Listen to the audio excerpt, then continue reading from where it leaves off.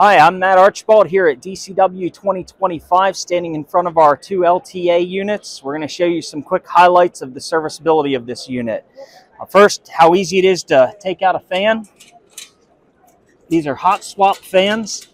Undo the thumb screws, pull the fan out, replace the fan with a new fan, and attach the thumb screws. And then moving on to how easy it is to replace a pump.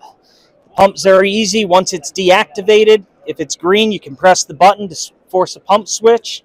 Once it tells you that it's ready to take out, you can just unscrew it. Pump slides out, new pump slides in, and threads back into place.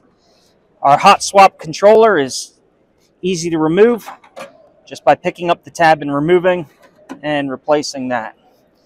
And if we go to swap the filters, which are in the back, or service the filters, we can actually isolate the filter by pressing the button. And then by the time we walk around the back, the filter is already isolated. And that minimizes our time standing in the hot aisle in the hot area.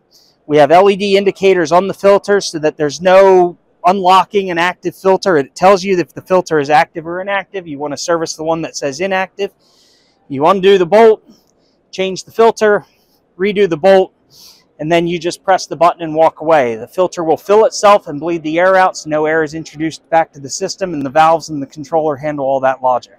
So those are some of the high level serviceability features that we have on our LTA sidecar product.